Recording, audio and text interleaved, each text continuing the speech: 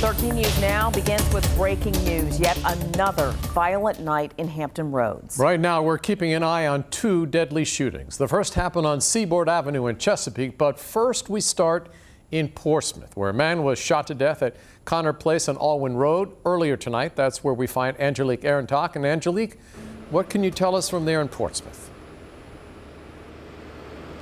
Portsmouth police will be entering their fifth hour investigating this deadly shooting. We don't know yet exactly what led up to it, but we do know one person is dead. Police are only saying the victim is a male, so no word yet on his age or name. We're told the call about the shooting came in shortly after 6:30 tonight. It brought police here to the corner of Connor Place and Aylwin Road. Police are still blocking off portions of this neighborhood. Neighbors here tell me they're concerned. A couple I spoke with described to me a rise in violence in this neighborhood since the pandemic.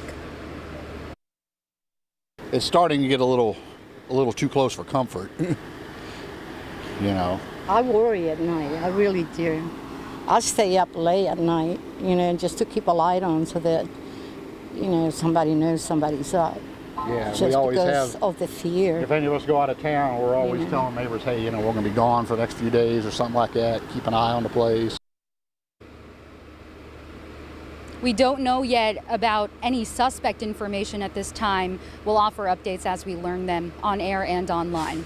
Live in Portsmouth, Angelique Arintok, 13 News Now.